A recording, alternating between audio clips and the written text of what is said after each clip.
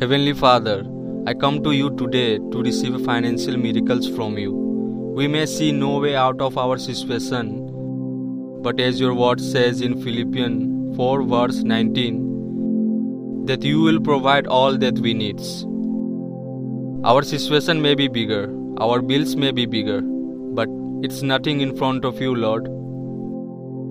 Dear Lord, I lay every burden at your feet because you know every bills and every financial fear that is keeping us up at night.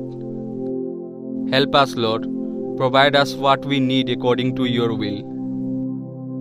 Give me the strength to work hard and to grow financially. Bless me financially to improve my life and to help other who is in need.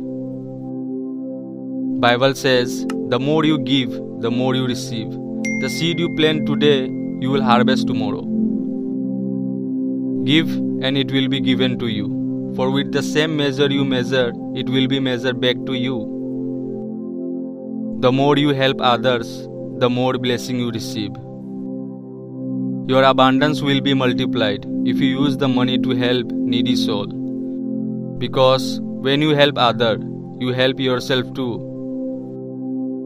Instead of thinking how much you get in return, and no matter whether they are your well wisher or not, you must help them. Lord, please wipe away everything that is against my financial blessing. Let me prosper in all that I do, and bless me financial prosperity in Jesus' name. Lord, take full control over my life and let me be rich and be able to help needy one. Let miraculous breakthrough begin to take place in my finances. Bless me, bless my family, and bless the works of my hand and increase my finances. Heavenly Father, today I submit all my viewers, all my subscribers to you.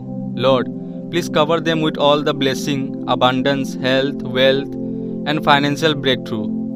In Jesus' mighty name I pray. Amen. God bless you all. Like and subscribe the video if you love the Lord.